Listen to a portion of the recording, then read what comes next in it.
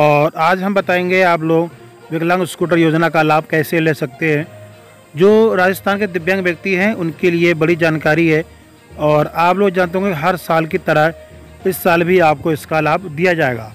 तो देखिए, राजस्थान दिव्यांग स्कूटर योजना ऑनलाइन आवेदन पात्र दस्तावेज़ आपको क्या क्या जमा करने होंगे, जिससे आप लोग इसका लाभ ले सकते हैं। तो सबसे पहले राजस्थान सरकार द्वारा अपने राज्य के ऐसा दिव्यांग नागरिकों को सहायता प्रदान करने का लक्ष्य से बहुत ही बहुत सी योजनाएँ को आरंभ किया गया है। हाल ही में राज्य सरकार द्वारा एक योजना का शुरू किया गया है, जिसे विकलांग स्कूटर योजना राजस्थान कहा जाता है।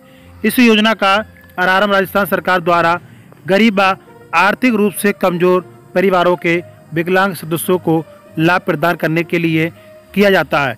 राजस्थान सरकार इस योजना के तहत हित गृहियों को मुफ़्त में स्कूटर प्रदान की जाती है और जिससे राज्य सरकार विकलांग नागरिकों को आत्मनिर्भर सशक्त बनाने का यह लक्ष्य यहाँ पे दिया जाता है दोस्तों। उसके दोस्तों, यहाँ पे हम बात करें राज्य के 50 परसेंट दिव्यांग शरीर रूप से कमज़ोर नागरिकों को लाभ प्रदान करने के लिए राजस्थान सरकार द्वारा विकलांग योजना, स्कूटी स्कूटी योजना 2024 को आरंभ किया गया था। राज्य सरकार द्वारा इस योजना के माध्यम से दिव्यांग नागरिकों को पहले 2000 स्कूटर यहाँ पे देती थी, लेकिन कुछ परिस्थितियों के कारण दिव्यांग यहाँ पे रह जाते थे।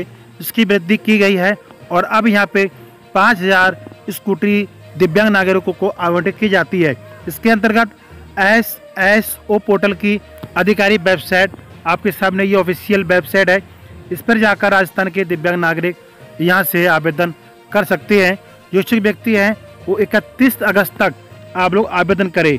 अभी आपके पास काफ़ी समय है, उससे पहले आप लोग यहाँ पर आवेदन कर सकते हैं क्योंकि यहाँ पे दोस्तों आपको बताया गया है, इकतीस अगस्त 2024 तक आप लोग यहाँ पर आवेदन कर सकते हैं, जो कि आप लोगों ने किया है, और अगर आप लोग नहीं करना चाहते आवेदन तो आपके लिए नुकसान है, और अगर दिव्यांग व्यक्ति हैं तो आप लोग यहाँ पे ज़रूर आवेदन करें, दोस्त, दोस्तों अगर यहाँ बता दें आपको कि केवल राजस्थान के मूल निवासी को ही यहाँ पे योजना का लाभ मिलेगा, व्यक्ति 50 परसेंट दिव्यांग होना चाहिए आवश्यक है तभी इस योजना का लाभ ले सकता है। उसके बाद रूप से कमज़ोर व गरीब परिवारों को सदस्य यहाँ पे स्कूटर का लाभ मिलेगा जिसके पास आपको दो पहिया वाहन होगा।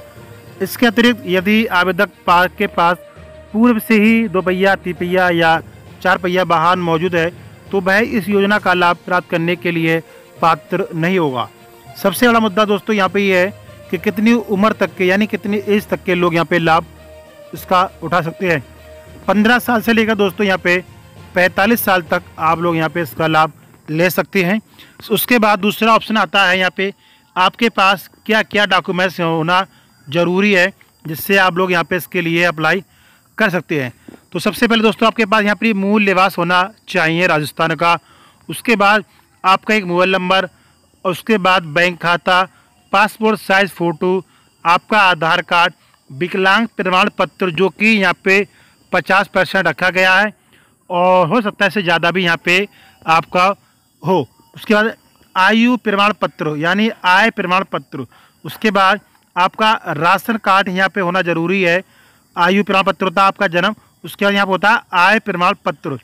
ये आपके पास होना ज़रूरी है। तो आपके पास क्या कागज़ दो दो, चार, दो, छः, दो, आठ, यानी नौ। आपके पास नौ कागज़ ये होना ज़रूरी है। तभी आप लोग इसके लिए आवेदन कर सकते हैं। दोस्तों, ये छोटी सी जानकारी आपको कैसी लगी?